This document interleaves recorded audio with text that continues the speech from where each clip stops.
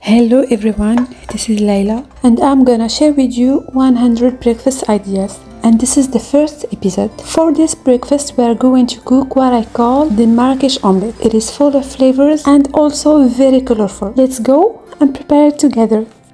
I will bring my compartment box that I prepare in advance over the weekend that helps me stay consistent with my healthy breakfast. First in a bowl I crack the eggs then I add diced colorful bell peppers for a good dose of vitamin C.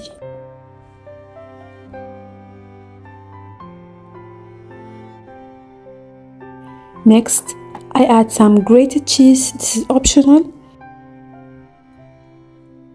Then I season with salt and pepper. I will mix everything well before pouring it into a preheated pan with some oil.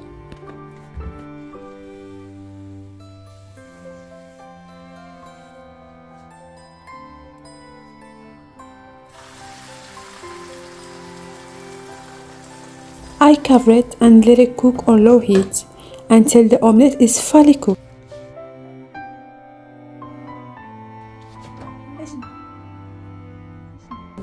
Once ready, I serve my omelette with some black Moroccan olives, a bit of cream cheese, and a drizzle of olive oil for a healthy dose of fat. I often add some avocados or small salad. I made a small mixed salad today with cucumbers, cherry tomatoes, apple and some raisins.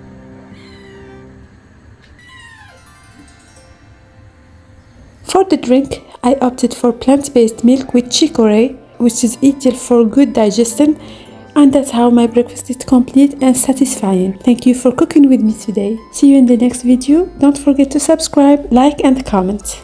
Thank you.